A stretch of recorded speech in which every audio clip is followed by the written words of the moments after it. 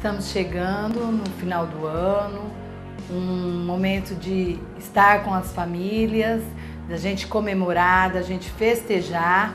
E eu queria deixar uma mensagem para todas as famílias rio-pretenses, para que todas as festas sejam abençoadas, mas que tenham Deus na família, que tenham aquele espírito de estar ajudando o próximo, porque assim nós podemos fazer a diferença.